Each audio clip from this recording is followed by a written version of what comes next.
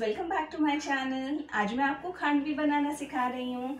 ये गुजरात की एक फ़ेमस डिश है। ये बहुत ही सॉफ्ट और बहुत डिलीशियस होती है। तो चलिए फ्रेंड्स देखते हैं इसकी रेसिपी आइए।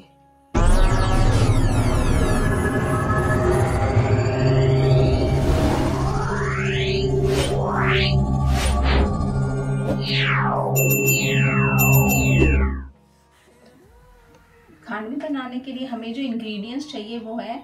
एक कप बेसन, एक कप दही, राई, साबुत राई लिया मैंने, कड़ी पत्ता, चौप धनिया पत्ता। ये फ्रेश नारियल है, जिसको मैंने ग्रेट कर लिया है। ये थोड़ा सा मैंने अदरक लिया है, उसको भी मैंने ग्रेट कर लिया है। ये हरी मिर्च मैंने चॉप करके रख लिया है।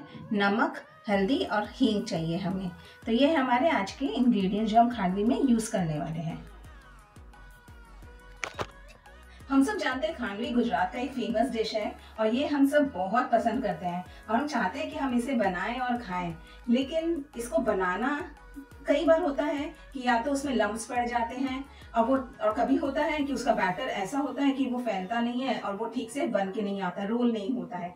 तो आज मैं आपको एक बहुत इजी तरीका बता रही हूँ जिससे आप खांडवी बहुत अच्छे से बना पाओगे और जितनी बार आप बनाओगे वो एक परफेक्ट खांडवी में बन के निकलेगा उसका। क्या बात है, सर? क्या बात है, सर? क्या बात, ये बात है। अरे सर, क्या तो देखिए, इस बार मैं आपको बाउल में मिक्स नहीं करूँगी। मैं मिक्सर जार ले रही हूँ, ये है हमारा मिक्सर जार इसमें हम डायरेक्ट डालेंगे। ये एक कप बेसन है, वो मैं मिक्सर जार में डाल रही हूँ। ये एक कप दही, ये भी मैं मिक्सर जार में डाल रही हूँ। अब इसमें हम डालेंगे चुटकी हींग, ताकि इसका अच्छा सा कलर आए। ये अदरक जो हमने ग्रेट करके रखा है। ये भी हम इसमें डाल देंगे। ये हरी मिर्च जो हमने चॉप करके रखी है, ये भी हम डालेंगे। हरी मिर्च का स्पाइस आपके अकॉर्डिंगली आप डाल सकते हैं, कम बेसी कर सकते हैं, लेकिन डालिएगा ज़रूर, जिससे इसका फ्लेवर बहुत ही अच्छा आएगा। तो ये हमारे इंग्रेडिएंट्स जो हम इसमें मिक्स कर रहे हैं। अब मैं ये मिक्सर को चर्न कर ले रही हूँ और पीस लेती हूँ इससे तो इससे अच्छे से ये मिक्स हो जाएगा, इसमें लम्स पड़ने का एकदम भी ज़रूर नहीं पड़ेगा। अच्छा। ठीक है। तो देखिए, ये मिक्सचर हमारा अच्छे से पिस गया है। मैंने अच्छे से पिस लिया इस मिक्सचर को। अब हम इसमें थोड़ा सा हींग डालेंगे। चुटकी भर हींग चाहिए हमें। चुटकी भर हींग डालेंगे और नमक स्वाद के अनुसार डालेंगे। वो आप अपना टेस्ट के अकॉर्डिंगली कम बेसी कर सकते हैं। तो ये हमारा मिक्सचर अब हम इसमें पानी डालेंगे। जिस कप से मैंने बेसन और दही लिया है सेम उसी कप से मैं दो कप पानी डालेंगे इसमें। ये एक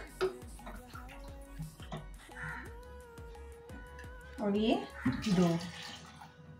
ये दो कप पानी मैंने डाल दिया। अब मैं इसे वापस मिक्स करूँगी मिक्सर में। ठीक है?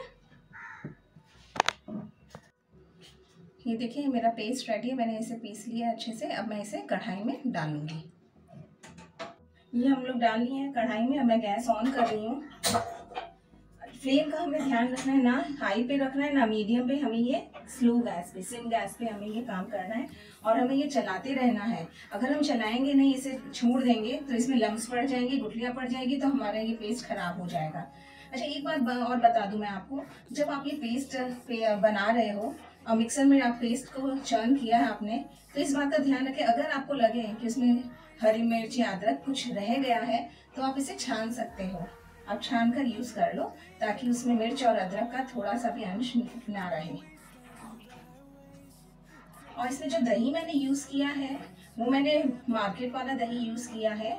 आप घर का दही जब यूज़ करेंगे तो आप इस बात का ध्यान रखें कि वो एकदम मीठा ना हो, ना ही बहुत खट्टा हो तो एक दिन का दही रहेगा तो वो आपका उसका फ्लेवर बहुत अच्छा आएगा टेस्ट अच्छा आएगा। मैंने जो बाज़ार का दही यूज़ किया है, उसका फ्लेवर भी बहुत अच्छा है, वो मीठा नहीं है, वो हल्का खट्टा है तो उससे उसका फ्लेवर बहुत अच्छा आएगा। ये हमें थोड़ा चलाते रहना है सिम गैस पे। इसमें थोड़ा सेकने में ही इसका मेहनत है। अगर हम इसे छोड़ देंगे तो ये नीचे लग जाएगा। बेसन बहुत जल्दी नीचे लग जाता है। इसको पकने में कम से कम आठ से दस मिनट लगेंगे और ये हो जाएगा हमारा ready A few moments later. ये आप देख रहे हैं मिक्सचर का कलर भी चेंज हो गया है और मिक्सचर भी थोड़ा सा देखिए थिक होने लग गया है। ये देखिए हमारा बैटर थोड़ा थिक थिक होने लग गया है। अब हमें इसे तुरंत चलाते रहना है ताकि इसमें कोई लम्स ना पड़े। आपको पता है, बेसन बहुत जल्दी लग जाता है तो हमें इसे चलाते रहना है। और ये साइज़ जो है, इसको भी हमें क्लीन करते रहना है साथ में ताकि वो यहाँ पे लगा ना रहे। और इसे कंटिन्यूस हमें अब चलाते रहना है। ये देखिए हमारा बैटर अब कितना थिक हो गया है। आप देख पा रहे होंगे। और हमें इस समय एकदम ध्यान रखना है कि हम बैटर को छोड़े नहीं और इसे हिलाते रहें। अगर हम छोड़ देंगे थोड़ा सा भी इसको और नीचे अगर लग गया, तब ये बैटर हमारा ख़राब हो जाएगा और लम्स भी ना पड़े। इस बात का भी हमको ध्यान रखना है।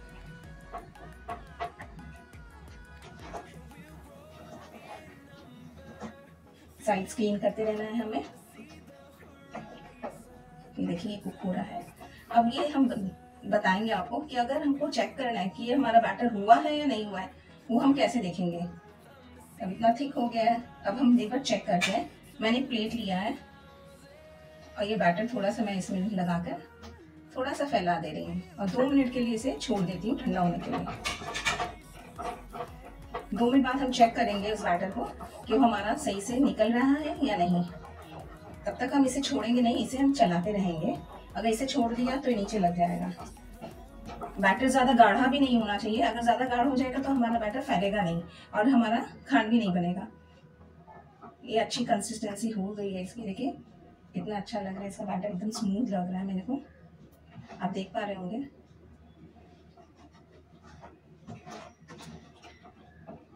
ज़्यादा थिक होगा तो फैलेगा नहीं। और अगर बैटर की कंसिस्टेंसी सही नहीं रहेगी तो ये हमारी खांड भी निकलेगी नहीं। ज़ोर ज़ोर से बोल के लोगों को स्कीमें बता दे। रोल नहीं होगा? अब हम बार चेक कर ले रहे हैं। देखिए हमारी खांडवी अभी रेडी नहीं हुई है। ये पेस्ट हमारा रेडी नहीं हुआ देखिए। ये रेडी नहीं हुआ है हमारा पेस्ट तो थोड़ा सा और हमें इसे चलाना है अभी। ये प्रोसेस बहुत ज़रूरी है। ये ऐसे करने से हमें पता चल जाएगा कि हमारा ये बैटर सही है या नहीं इसकी कंसिस्टेंसी सही हुई है या नहीं।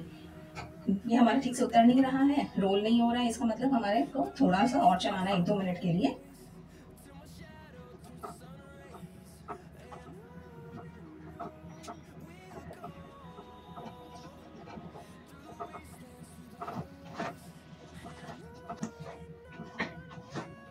साइड क्लीन करते रहना है हमें।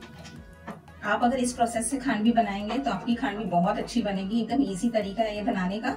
और परफेक्ट मेज़रमेंट के साथ है ये।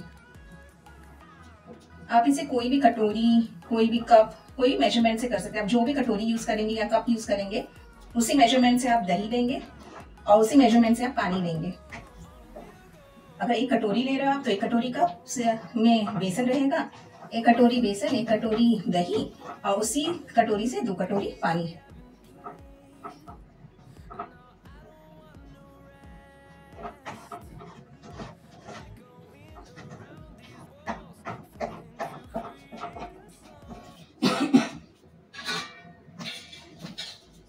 फिर एक बार चेक कर ले रहे हैं।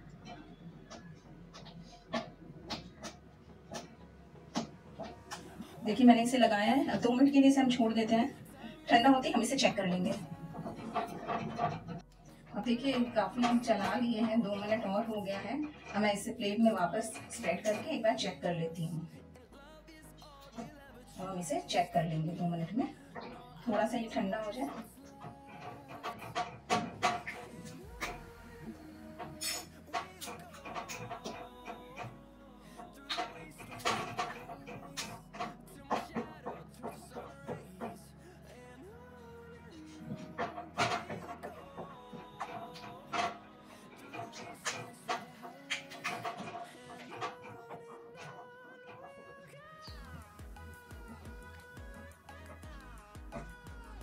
ये देखिए, ये अच्छे से रोल हो रहा है हमारा, आप देख रहे हैं।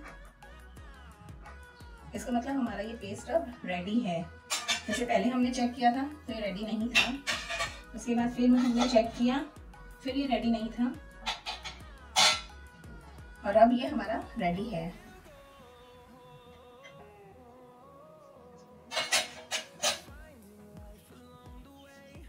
इसका मतलब हम गैस बंद कर देंगे इसका, और ऐसे अब हम फैलाएँगे। तो मैं इसे स्प्रेड करने के लिए ये थाली ले रही हूँ। मैं इसके पीछे इसे फैलाऊँगी। आप इसे गैस के इस कंपार्टमेंट पे भी फैला सकते हो। कोई भी कंटेनर है, थाली हुआ प्लेट हुआ, किसी पे भी आप फैला सकते हो। इसमें तेल लगाने का ज़रूरत नहीं है हमें। अब मैं गैस बंद कर दे रही हूँ और इसे हम ढक देंगे, नहीं तो ये सूख जाएगा। अगर ये सूख जाएगा तो ये फैलेगा नहीं प्लेट पे अच्छे से। इसीलिए मैं इसे अभी ढक दे, ढक दूँगी।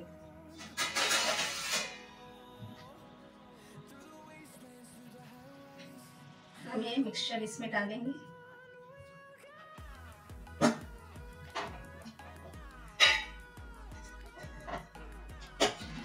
ऐसे फैलाएँगे जल्दी जल्दी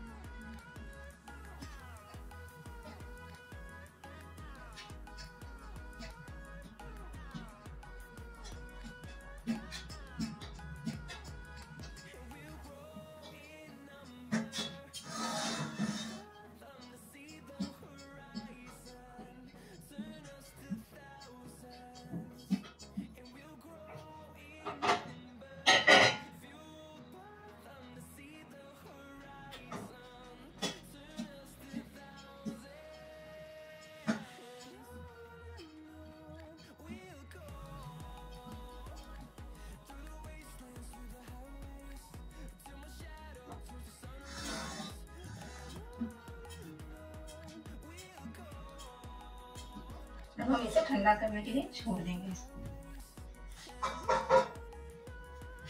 इसी तरह से हम बाकी मिक्सचर भी फैला लेंगे प्लेट्स के ऊपर ठीक है? और ये काम हमें जल्दी जल्दी करना है वरना लम्स पड़ जाएँगे पेस्ट में। Okay okay okay okay okay okay okay हमारा पेस्ट ठंडा हो रहा है। उतनी देर में हम छौंक रेडी कर लेते हैं। तो मैंने कढ़ाई में तेल डाला है। मैं गैस ऑन कर ले रही हूँ। और इसमें हम राई डालेंगे और कड़ी पत्ता डालेंगे। आप चाहें तो इसमें सफ़ेद तिल डाल सकते हैं, उससे भी फ्लेवर बहुत अच्छा आता है। मेरे पास अभी अवेलेबल नहीं है तो जो है मैं उसी से इसका छौंक लगा रही हूँ। आज मेरे पास ड्राई कड़ी पत्ता है। फ्रेश कड़ी पत्ता मेरे को आज मार्केट में मिला नहीं तो मेरे पास जो ड्राई कड़ी पत्ता था, मैं उसी का इस्तेमाल कर रही हूँ आज। गैस ऑन किया है, ये थोड़ा सा गर्म हो जाए, फिर हम छौंक रेडी कर लेते हैं। उतनी देर में हमारा वो पेस्ट है, वो भी ठंडा हो जाएगा, और हमारी थाली भी रेडी है खाने के लिए।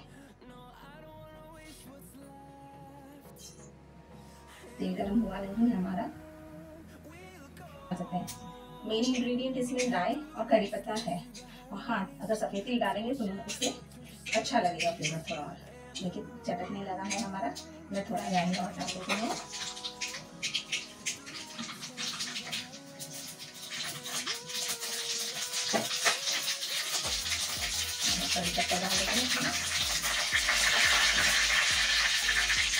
A few minutes later. अभी देखिए, हमारा ठंडा हो गया है। हम अभी इसे काट लेते हैं पहले। आपको जितना मोटा चाहिए, उस हिसाब से आप काट सकते हैं। अंदाज डेढ़ इंच रहे तो अच्छा आएगा। ये मैंने देखिए चाकू से इसमें लगा लिया है ये। और आप चाहें तो इसे थोड़ा सा यहाँ से ट्रिम कर लीजिए, ताकि आपको इसको फोल्ड करने में इजी रहे। ये मैंने ट्रिम कर लिया है। ये देखिए कितने अच्छे से उतर रहा है ये। ये देखिए कितने अच्छे से निकल रहा है। तो ये मैं हटा दे रही हूँ।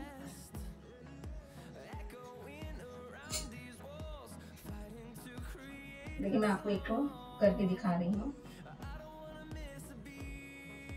ये देखिए, कितने अच्छे से रोल हो रहा है हमारा ये। ये देखिए, कितने अच्छा से रोल हुआ है।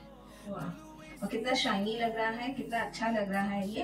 ये देखिए तो इसी तरह से आप बनाएँगे तो आपको बहुत अच्छे से निकल आएगा ये। और मैं ये वाला प्लेन रखूँगी और ये जो है मैंने कट कर दिया है, इसमें मैं थोड़ा सा ये नारियल डालूँगी। ये खाने में बहुत ही अच्छा लगेगा और नारियल का फ्रेशनेस जो आएगा और धनिया पत्ता, बहुत अच्छा लगता है ये। बच्चे पसंद नहीं करते हैं कुछ कभी कभी इसलिए मैंने थोड़ा सा प्लेन रखा है और थोड़ा मैंने स्टफ़ कर लिया है। देखिए, ये स्टफ़ वाला भी मैं आपको दिखा रही हूँ।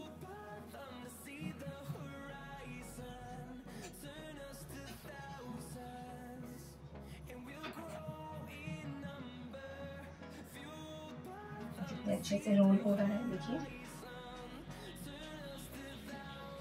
देखिए कितना अच्छा लग रहा है ये हमारा स्टफ़ वाला खानवी इसी तरह से मैं ये सारा अभी रोल कर लेती हूँ। तो देखिए हमारी ये खानवी रेडी है। अब हम इस तड़का जो है हमारा, वो इसमें पोर कर देंगे। हमारा तड़का हम इसमें डाल देंगे। है ना कितना आसान तरीका बनाने का। इतनी जल्दी फटाफट बन गया। कभी भी आपके घर में कोई गेस्ट आने वाला हो तो आप सुबह बना के इसे रेडी करके घर पे रख दीजिए और जब वो आए तो उसे सर्व कीजिए। लगता ही नहीं है कि घर में बनाया हुआ है, इतना टेस्टी इतना अच्छा। आप खाएँगे तो इसका टेस्ट भी देखेंगे, बहुत अच्छा बना है ये।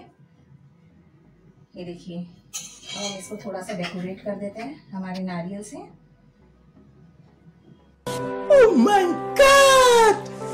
ये फ्रेश नारियल का टेस्ट अलग ही आता है, इसमें बहुत अच्छा लगता है फ्रेश नारियल का टेस्ट इसमें।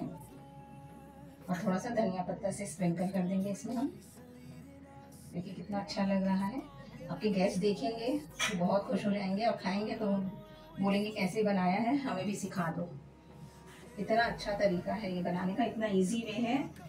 सबको बहुत ज़्यादा पसंद आएगा। मैं थोड़ा सा फ्रेश ये धनिया पत्ता यहाँ पे डेकोरेशन में यूज़ कर रही हूँ।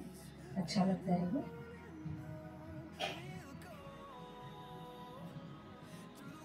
ये देखिए।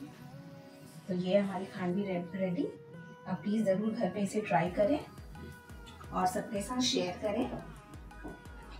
अगर आपको मेरी रेसिपी पसंद आई हो तो आप मेरे चैनल को सब्सक्राइब करें लाइक करें और कमेंट ज़रूर करें कि आपको ये कैसा लगा है। और बेल आइकन प्रेस करना ना भूलें ताकि आप मेरे न्यू वीडियोज़ के लिए अपडेट रहें। Okay friends tata bye bye